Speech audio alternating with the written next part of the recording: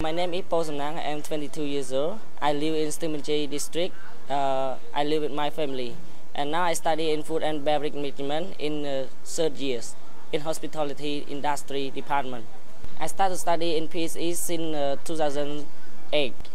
And I started to study at a preparatory class and, and then I, I, I graduated at preparatory class. I moved to study in food and beverage management in 2009. The subject that I like the most is service technique because I think that the service technique is show us about the technique how to serve the guest and order uh, in order to make the guest feel satisfied with our service.